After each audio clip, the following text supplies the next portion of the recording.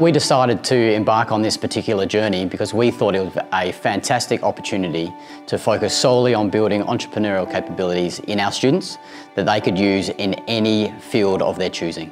In my formative teaching years, I met a lot of students that experienced extreme socioeconomic disadvantage or adversity and I quickly learned the value in having students own their learning, lead their learning, be a part of their learning, the power of collaborating with others and feeling very connected to community. It was about being able to do some really creative and engaging work with curriculum and providing our young people in this community with a way to look forward to the future in terms of pathways, options. It was a great opportunity for myself to help students, equip them with the soft skills that are becoming increasingly important in today's society. I knew that I could learn valuable skills and that it would open up many opportunities and pathways for my career in the future.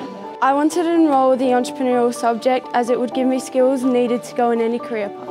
I wanted to know the ins and outs of a business and what it was like to run a business and also what it was like to have an entrepreneurial mindset. A special part of being an entrepreneurial specialist school is paying a little bit more attention to the process of learning. So how a student is getting from A to B, the capabilities that they use to get there. We're teaching our students about real life issues and things that really matter to the community. It's about creating the school culture and conditions necessary to create a generation of go-getters and innovators. An entrepreneurial mindset is important because it encourages creativity and confidence. You learn to adapt to change and you can identify problems easier. It allows me to make the most of my opportunities and succeed in a variety of settings.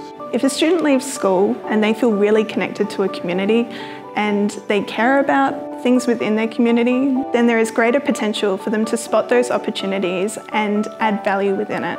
I believe entrepreneurial learning has the ability to elevate our community's aspirations and allow students to create real-world transformative change. I'll be using this learning in the future through the use of going to university studying a Bachelor of Business and I've also currently started my own clothing brand. I think I'll use this learning in the future to help with my career so I'll have a problem solving abilities and a problem solving mindset. I think I can use this learning in the future basically anywhere I go or anything I do because an entrepreneurial mindset you can use everywhere.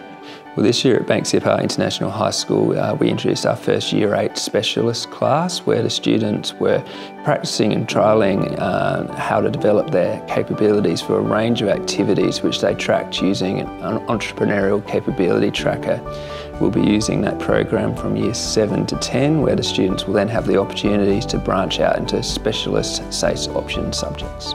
I work closely with tertiary providers, businesses and community in developing links to real world learning and work experience. We're making sure that we're developing a pathway for all students, whether they're in our elective, our core, our specialist, our vet or our extracurricular avenues.